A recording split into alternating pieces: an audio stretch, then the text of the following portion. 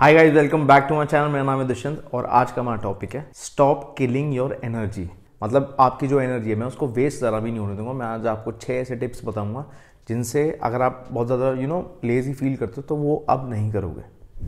सबसे पहला पॉइंट है स्लीप देखो, अभी हम लोग यहाँ वीडियो बना रहे हैं और मैं थका हुआ था। मैं सुबह लगभग नौ बजे दस बजे जिम चला गया था बट रात को तीन बजे सोया था। तो मेरे को पता मेरी हालत ख़राब थी। अभी आधे घंटे की नींद ली, वापस से एनर्जी आ गई। तो ये मैं ये नहीं कर रहा, अब आप बोलोगे, भाई, हम तो स्कूल कॉलेज ऑफ़िस जाते हैं तो हम तो हम फिर ऐसा नैप कैसे लें? तो ऐसा मैं आपको बहुत बड़ा बताऊँ, सद्दाम हुसैन थे। सद्दाम हुसैन जो मतलब बहुत ज़्यादा बड़े वो थे रूलर थे। मैं कंट्री में तो वो क्या करते थे, आधे आधे घंटे के नैप लेते थे।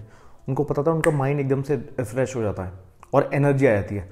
तो वो जहाँ भी मीटिंग्स लेते थे, एक उनका एक ऐसा रूम था जहाँ पे वो जाके आधे घंटे के लिए सो जाते थे, उसके बाद से मीटिंग लेते थे। क्यों? क्योंकि उनको पता माइंड एकदम रिफ्रेश हो जाता तो अगर आप अपनी ऐसी तैसी करवा रहे हो, आप ढंग से सो नहीं रहे हो, रात को तीन तीन बजे तक मोबाइल चला रहे हो, सुबह जल्दी उठ के फिर काम पर भग रहे हो तो ना तो आपकी प्रोडक्टिविटी होगी, आप पूरा दिन लेजी फील करोगे, ऊपर से ना तो आपकी तनख्वाह बढ़नी, ना कुछ करनी, ना आप फोकस कर पाओगे।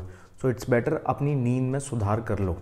और एटलीस्ट सात से लेकर नौ घंटे की नींद आपको ज़रूरी है। मैं तो खुद का नाम है, लगभग नौ घंटे सोता हूँ प्रॉपर मतलब मैं कैलकुलेट करके सो जाता हूँ। मेरे को थोड़ी सी नींद ज़्यादा आती है, मैं आपको एकदम सच बता रहा हूँ। दूसरा पॉइंट है वाटर हमारे बड़े बूढ़े ने, हमारे एंसिस्टर्स ने सुबह उठते क्या कहता सुबह उठते सबसे पहली चीज़ आपको ये करनी चाहिए, उठते ही पानी पीना चाहिए। अब पानी का मतलब क्या है? देखो, सबसे पहली चीज़, आप फ्रेश हो जाते हो। फ्रेश मतलब ड्र एकदम वो। और दूसरा पॉइंट है, कभी भी आप नोटिस करना, अगर आप में ये आदत नहीं है तो फिर बेकार आदत है। तो जैसे आप सुबह उठ के पानी पियोगे डायरेक्ट आप अगर नॉर्मल उठते हो तो ऐसा करके उठो। और अगर आप पानी पी के उठोगे तो देख लेना मतलब आपको ऐसा लगा कि मेरा जो सारा इंजन है, वो सब कुछ चलने लग गया। एकदम से क्लियरनेस आ जाएगी, एकदम से सब आपको एकदम क्लैरिटी दिख जाएगी अरे यार, ये हो रहा है, मैं ये एनवायरनमेंट पे हूँ, यहाँ पे सो रहा हूँ। तो पानी बहुत इंपॉर्टेंट है। तीसरा शब्द है पावर पावर शब्द का मैं यहाँ बहुत चीज़ों के लिए यूज़ कर रहा हूँ।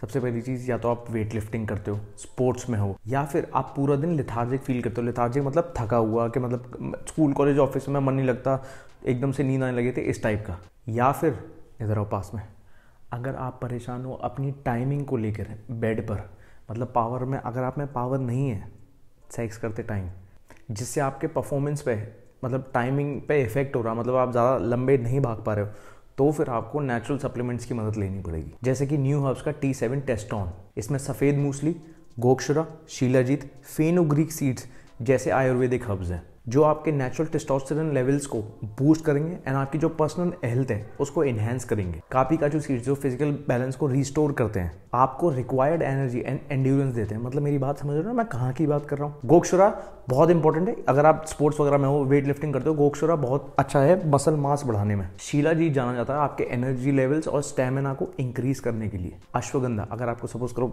यू नो सेक्स करने का मन नहीं करता। तो अश्वगंधा आपका मूड एनहेंस करता है एंड ब्लैक पेपर से आपको टारगेटेड रिज़ल्ट हैं, वो अचीव होते हैं। ये जो प्रोडक्ट्स हैं, ये आयुर्वेदिकली सर्टिफाइड है तो टेंशन मत लेना अपनी हेल्थ को लेकर मैं भी यूज़ करता हूँ, क्योंकि मैं इस टाइम कैली डेफिसिट पे चल रहा हूँ तो मेरे में थोड़ी सी एनर्जी कम रहती है तो मैं भी इन्हीं को यूज़ कर रहा हूँ। इसको डॉक्टर्स ने भी बहुत ज़्यादा पसंद किया और जिन्होंने इसके बारे में बताया, उनका लिंक मैंने डिस्क्रिप्शन में डाल दिया, वहाँ से जाके चेक कर सकते हैं। इसकी डोजेज कैसे लेनी है तो देखो मेरा थोड़ा सा एक्टिव लाइफ है मतलब मैं सात दिन जिम जाता हूँ और फिर अच्छी खासी हैवी लिफ्टिंग करता हूँ, फिर मेरे को थकान तो होती है तो मैं दो दो कैप्सूल देता हूँ। बट आप एक से दो ले सकते हैं, दो से ज़्यादा मैक्स आउट नहीं करनी।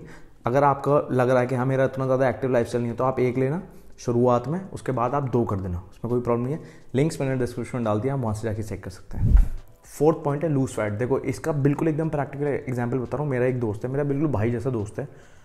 जब वो खाना खाते हैं ना तो उनकी पता है क्या, जब वो खाना ख़त्म करते हैं तो मतलब वो मोटा है थोड़ा सा, मेरा भाई है बिल्कुल, वो मोटा है बट तो उसको क्या, खाना खाने के बाद भी उसको सांस लेने में दिक्कत होती है। एंड वो पूरे दिन उसमें मतलब एनर्जी नहीं रहती, नींद सुस्ती रह, सुस्ती रहती है। मैं आपको एक प्रैक्टिकल एग्जांपल दे रहा हूँ, जब मैं गेनिंग कर रहा था तो गेनिंग में हम लोगों को थोड़ा सा ज़्यादा खिलाया जाता है। मतलब हमारे काब्स वगैरह बड़े होते हैं तो कभी भी देखना, आप जब आप गेनिंग करोगे, अगर आप मेरी बात समझ रहे हो गेनिंग करोगे तो आपको सुस्ती बहुत ज़्यादा आएगी। जब आदमी ज़्यादा खाना खाता है ना तो उसको सुस्ती बहुत ज़्यादा आती है। तो यही चीज़ अगर आप फैट लूज़ कर दोगे तो आपके एनर्जी जो है, वो आप में ऑटोमेटिकली बहुत ज़्यादा बढ़ जाएगी। फिफ्थ पॉइंट है wake up early next level चीज़ बता रहा हूँ नेक्स्ट गाइस अभी मेरा स्केड्यूल इतना बेकार हो चुका था, मैं आपको जैसे, मैं शाम को जिम जा रहा था तो शाम को क्या है, मैं प्री वर्कआउट लेता था तो प्री वर्कआउट वो मेरे को लगभग रात के तीन बजे तक जगा रहा था। अब रात के तीन बजे तक तो सोचो मैं सुबह सुबह मैं बारह बजे उठ रहा था, बारह बजे से लेकर फिर नहाया धोया पूजा पाठ करी, उसके बाद फिर नाश्ता किया मतलब दो बजे तक। दो बजे के बाद फिर यहाँ पे आता था थोड़ा सा दस नहाने ये सब करके यहाँ पे यहाँ से हम काम चार बजे स्टार्ट कर रहे थे तो विच इज़ वेरी रॉन्ग मतलब पूरा दिन बेकार हो रहा था। उसके बाद जब चार बजे काम स्टार्ट कर रहे थे शाम को छः बजे फिर जिम जाना था फिर पूरा काम सफ़र कर रहा था बट जिम तो जाना ही है मेरे को क्योंकि मेरा यू you नो know, काम ऐसा है। तो फिर मतलब पूरी स्केड्यूल ही बिगड़ा हुआ था तो अब मैं सुबह अब मैं बिल्कुल एकदम सुबह जिम जा रहा हूँ कसम से मतलब बहुत ज़्यादा सही लग रहा है कि पूरा दिन मैं प्लान कर सकता हूँ अगर मैं सुबह जल्दी उठता हूँ तो मैं अच्छे से पूरा दिन प्लान कर सकता हूँ। सिक्स पॉइंट है स्ट्रेस। कभी कभार क्या होता है, इसको कहते हैं परफॉर्मेंस प्रेशर कभी कभार क्या होता है, हम उतने लंबे नहीं चल पाते हैं। मेरी बात समझ रहे हो तुम? तो उससे क्या होता है, आपका जो एक बार का इंप्रेशन है, वो आप में स्ट्रेस के यार, मेरी टाइमिंग इतनी इतनी ज़्यादा अच्छी नहीं है। यार, ये सब करके। तो ऐसा नहीं है। स्ट्रेस मत लिया करो। स्ट्रेस बहुत सारी चीज़ें बिज़नेस का मतलब बथेरे स्ट्रेस है। अब मैं आपको अपना स्ट्रेस बताऊँ, मेरा क्या होता है, जब मैं स्क्वाट्स मारता हूँ तो मेरे को डर लगता है लास्ट टाइम मैंने कम किया था कहीं इस बार ज़्यादा नहीं कर पाऊँ तो ऐसे करके होता है बट मैं ट्राई कर लेता हूँ तो हो जाता है, भगवान की कृपा से।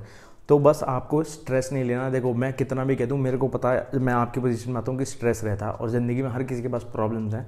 बट जब स्ट्रेस है तो हम कर क्या सकते हैं? वो भी तो आप सोचो।